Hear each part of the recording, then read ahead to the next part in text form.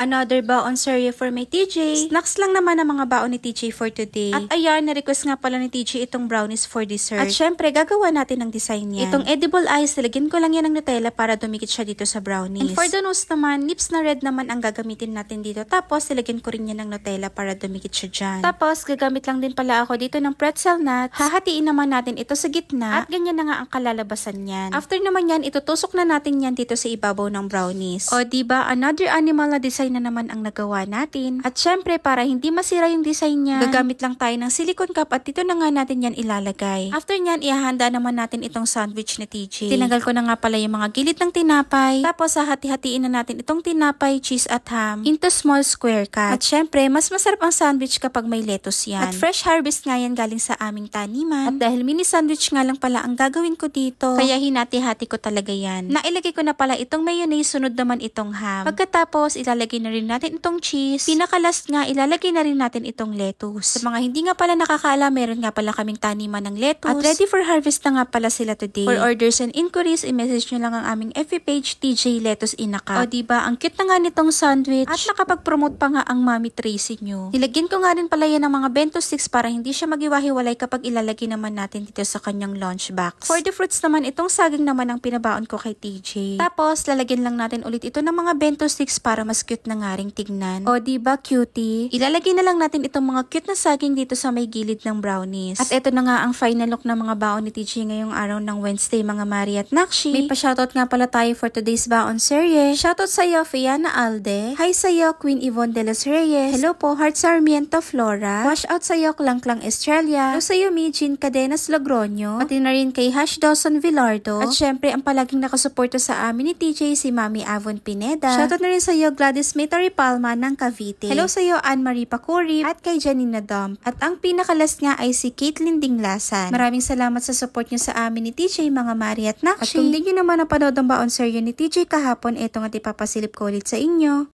Another baon serye for my TJ. Snacks lang naman itong mga ni-request na baon ni TJ for today. At dahil simple lang itong cupcake, syempre gagawa natin ng design niya. Pagkahati nga nitong cupcake, ikakat lang natin ito. At itong takip nga lang pala ang ginamit ko dito. Tapos, uulitin lang natin ito sa kabilang side. At dito naman sa mga naikat natin, lalagyan lang natin ito ng Nutella. Para kapag dinikit naman natin yan, ay hindi yan maghihiwalay. Tapos, ganito lang natin yan ilalagay dito sa bilog. O, nakikita nyo na ba kung ano nga yung magiging design natin dito? Para mas lalang ma-visualize nyo, lalagyan na natin ng mata at ilong yan. At tinuna no chocolate nga lang pala ang ginamit ko dito. Comment nyo nga kung ano nga palang animal itong ginawa natin. At syempre, hindi mawawala itong mga bento sticks sa mga pagkain ng aking TJ. At dahil nakita nga ito ni TJ sa aming stocks, ni-request niya nga pala itong mallows. Tatlong piraso nga lang yung pinabaan ko at dahil medyo matamis kasi yan. At dahil wala na nga ako maisip na ilalagay dito sa maliitang compartment, itong gummy bears na lang ang pinabaon ko kay TJ. Dahil talagang nagustuhan ni TJ ang crispy dried veggies, kaya ayan, papabaunan ko na nga rin pala siya niyan. Basta masarap yan, parang kumakain ka nga lang ng chips. Available nga pala yan sa aming TikTok shop. Ilalagay ko na rin yung link sa comment section. At ito na nga ang final look ng mga baon ni TJ ngayong araw ng Monday mga Mari at Nakshi. Ayun lang. Bye!